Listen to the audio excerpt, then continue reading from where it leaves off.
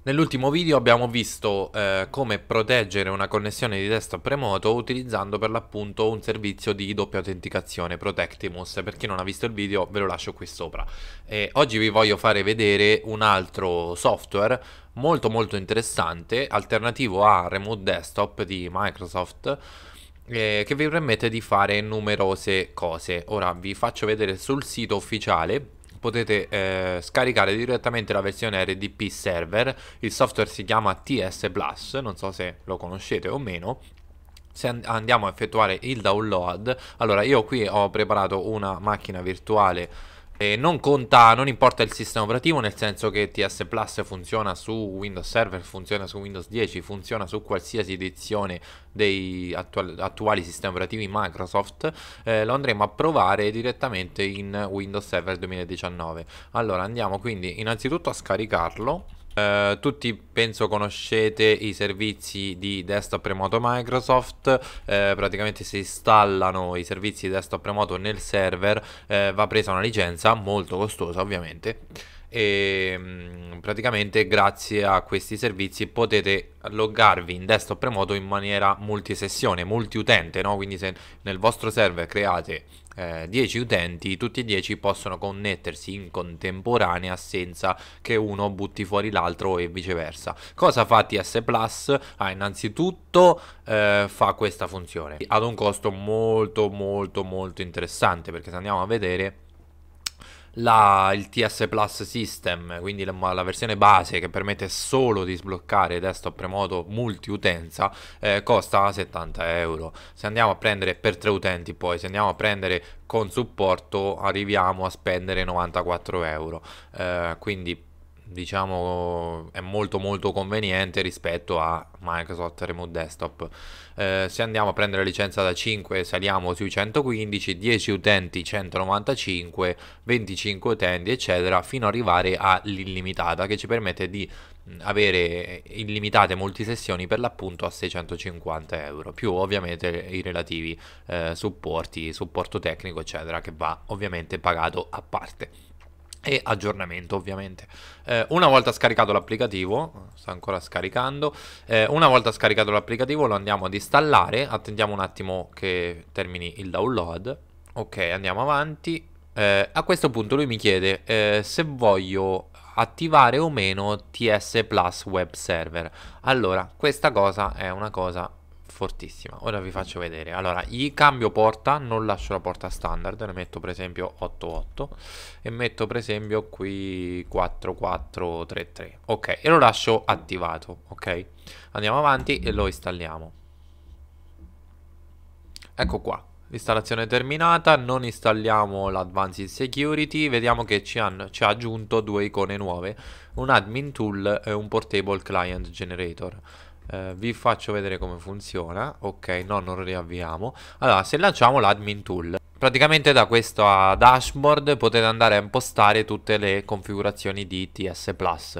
Ehm, se, praticamente da questo momento in poi voi avete la licenza attiva per 15 giorni e il server, in questo caso Windows Server 2019, ma se fosse stato 10, vi ripeto, funzionava uguale o anche per sistemi operativi precedenti, eh, siamo, è già pronto ad ospitare sessioni multiutente degli utenti in desktop remoto. Quindi andremo a configurare i nostri vari utenti di desktop remoto come facciamo solitamente anche con le licenze Microsoft andiamo a creare i vari utenti li andiamo a assegnare al gruppo utenti desktop remoto e potremo a quel punto eh, collegarci in desktop remoto anche con più utenti. Andiamo a mettere per esempio eh, uno su administrator ok mm, lo posso fare con tutti gli altri no? E a quel punto se mi vado a collegare in desktop remoto sulla macchina TS Plus farà in modo che in base alla licenza che avete acquistato eh, vi potrete collegare a, a, eh, con n utenti no? andiamo a fare una prova 172 29 113 134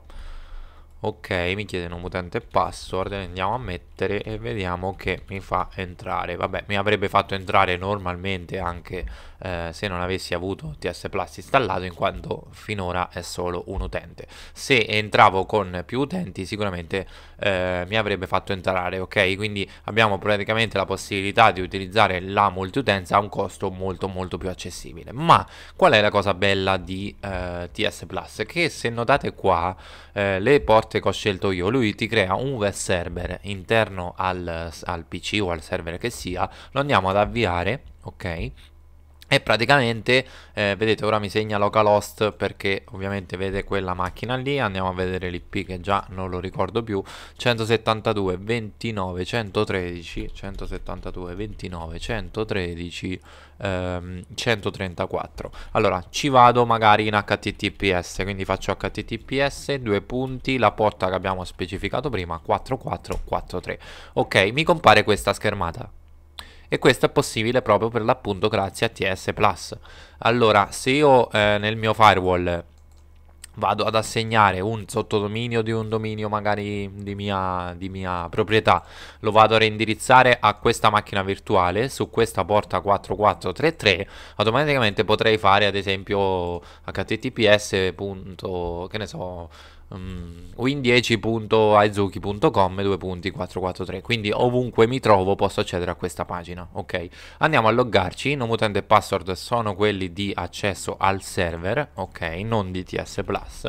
Quindi administrator la password del server e praticamente lui se io faccio logon imposterà una connessione sicura tra il mio browser e il client. Come vedete ho addirittura desktop remoto in Chrome. Posso andare a utilizzare il PC cioè quindi è come se avessi un desktop remoto integrato nel browser semplicemente digitando un indirizzo chiunque ci riuscirebbe no? Magari se lo pubblichiamo se noi avessimo qui specificato 443 ok la porta standard di https potrei proprio associare il mio dominio eh, server.ezuki.com e tutti quanti in maniera molto molto semplice possono accedere al propria, alla propria installazione, al proprio PC, andarsi a, a fare quello che vogliono eh, direttamente da una pagina web questa cosa è fantastica. La versione web edition quindi mobile web edition eh, costa un pochino in più come vedete 165 euro 3 utenti e via dicendo e però vi permette di fare per l'appunto questa cosa fantastica. Eh, se volete avere un livello di sicurezza in più se andate in RDS add-on trovate la eh, possibilità di aggiungere il two factory authentication ok? Quindi se noi andiamo a fare a, a scaricare guarda ve lo faccio direttamente vedere. Allora era in uh, non system sul add-on eccolo qua two factory authentication entriamo lo attiviamo e andiamo a gestire gli utenti andiamo ad aggiungere il nostro utente administrator di prima ok? Perfetto l'abbiamo già attivato se noi ritorniamo qua rifacciamo l'accesso No, scusate, devo ricaricare. Ah, ok, dovrei, avrei dovuto ricaricare la pagina. Comunque, come vedete, mi dice di andare a scansionare questo QR code per andare poi a specificare qui ehm, il, il, token di, di, accesso ogni volta che vado a effettuare il login. Per chi non sa di cosa parlo, nel video precedente di Protectimus che vi avevo eh, fatto vedere il link all'inizio del video, eh, spiego benissimo come funziona eh, con Protectimus, quindi andatevelo a vedere. Oltre questo possiamo addirittura fare remote app, ma qui è un discorso un po' particolare nel senso che potremmo andare a configurare qui su apps, andare a configurare delle app, ehm, per esempio qui c'è com come test notepad, no? Se io vado a segnare questa applicazione a un utente, quindi magari adesso gli do tutti per semplicità, ehm, vado a segnare questa applicazione, qui mi vado a loggare, c'è bisogno del plugin, quindi dovete installare plugin, quindi vabbè, va comunque sia installato un plugin, fate il login, vi trovate semplicemente sì remote desktop, ma solo l'applicazione che volete utilizzare, quindi in quel caso che avete pubblicato Notepad, solo Notepad. Il classico remote app di Windows Server, quindi uguale, solo che lo potete anche quello farlo da web. Però vi ripeto, la funzionalità HTML5 è veramente, secondo me, una svolta.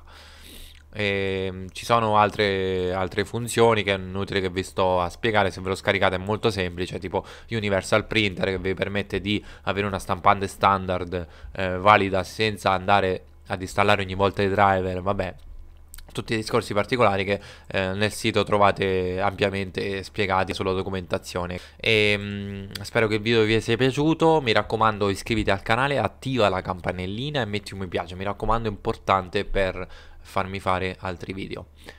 Grazie alla prossima